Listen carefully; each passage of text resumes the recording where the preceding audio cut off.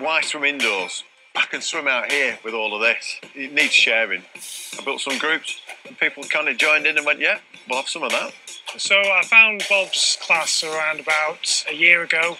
I don't think we would have found each other without mobiles. He's pushed us, certainly myself, to come on swims like this today and try new things. You need to not worry and get on and do things really. We use the phone for a tracking data. We've got an app called Strava. We make a 3D map of where we've been, our time, distance, what we've done. The unlimited data is fantastic for me because I can get all my stuff out there in places like this, these beautiful remote locations.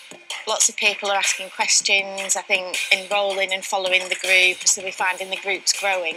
When you get in that water and you start swimming in the open water, you're never going to look back.